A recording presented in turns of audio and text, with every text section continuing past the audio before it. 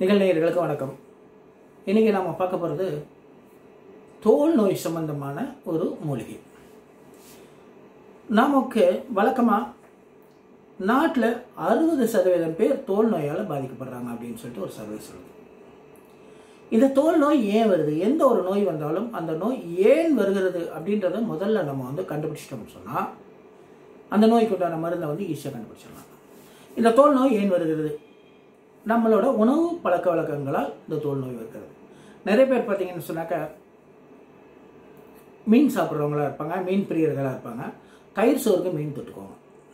இந்த தயிர் சோறில் மீன் தொட்டுட்டு சாப்பிட்டா கட்டாயம் வந்து தோல் நோய் வர்றதுக்கு வாய்ப்பு இருக்குது அதாவது நம்ம உடம்புல ரத்தம் கெட்டு போயிடுச்சு அப்படின்னு சொல்லி சொன்னால் தோல் நோய் வரும். இந்த ரத்தம் கெட்டு போகிறதுக்கு நிறைய காரணங்கள் இருக்குது சரியான உணவு சாப்பிடாது அதாவது சத்து குறைவான உணவு சாப்பிட்றது ஜங்க் ஃபுட் சாப்பிட்றது இந்த மாதிரி சந்தர்ப்பங்களில் உடம்புல ரத்தம் கெட்டு போகிறதுக்கு நூறு சதவீத வாய்ப்பு இருக்குது இந்த மாதிரி ரத்தம் எல்லாம் கெட்டு போயிடுச்சுன்னு சொன்னாக்கா இந்த மாதிரி தோல் நோய்கள் கொப்பளங்கள் இதெல்லாம் வந்து வர்றதுக்கு நிறைய வாய்ப்புகள் இருக்குது இது செருப்படை அப்படின்னு சொல்லி ஒரு மூலிகை இருக்குது இந்த செருப்படை மூலிகை வந்து பார்த்தீங்கன்னு சொன்னாக்கா ஏரிகளில் காய்ந்த வறண்ட நிலங்கள் ஏரி அதாவது ஏரியில் தண்ணி வற்றி போச்சுன்னா ஆற்றில் தண்ணி வற்றி போச்சுன்னு சொன்னால் இந்த மாதிரி இடங்களில் வந்து இந்த செருப்படை மூலிகை வந்து வளருது.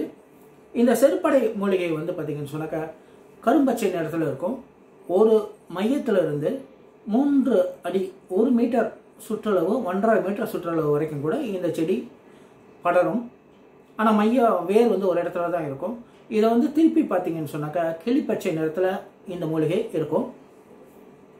இந்த மூலிகையை எடுத்து வந்து இதுக்குள்ளே கரிசலாங்கண்ணி குப்பை மேனி இரண்டையும் சம அளவு எடுத்து நிழல்ல உலர்த்திட்டு அதுக்கு முன்னாடி நல்லா சுத்தம் பண்ணணும். காய கழுவிட்டு சுத்தம் பண்ணிவிட்டு நிழலில் உலர்த்தி அதை பவுடர் ஆக்கிடணும். பவுடர் ஆக்கி வச்சுட்டு தினமும் காலை மாலை இரண்டு வேளை வெறும் வயிற்றில் இதை சாப்பிட்டுட்டு வரும்போது நமக்கு சொறி சிரங்கு படர்தாமரை அதே போல் சொரியாசிஸ் தேமல் இந்த வட்ட வட்டமாக விளவலையாக இருக்கும் பாருங்க முகங்களில். அந்த மாதிரி தேமல் இது போன்ற அனைத்து நோய்களையும் குணப்படுத்தக்கூடியது இந்த செருப்படை மூலிகை. இந்த செருப்படை மூலிகைக்கு வேறு வேறு ஊரில் வேறு வேறு பேர் சொன்னாலும் இதோட பேர் வந்து செருப்படை அப்படின்றது வந்து பொதுவான ஒரு பேர் விள விளங்குது. இந்த மூலிகையை வந்து நீங்கள் பால்லையோ கலந்து சாப்பிடலாம் தயிரில் கலந்து சாப்பிடலாம். உங்களோட டேஸ்ட்டுக்கு தகுந்த மாதிரி இந்த மூலிகையை எதனோட விளந்து வேணாலும் நீங்கள் சாப்பிடலாம். தொடர்ந்து இதை நீங்கள் சாப்பிட்டு வரும்போது உங்களுக்கு அதாவது எந்த ஒரு மூலிகையும் ஒரு நாள் இரண்டு நாள் சாப்பிட்டுட்டு எனக்கு வந்து நோய் குணமாகலை அப்படின்னு சொல்லி நம்ம வந்து முடிவு பண்ணக்கூடாது.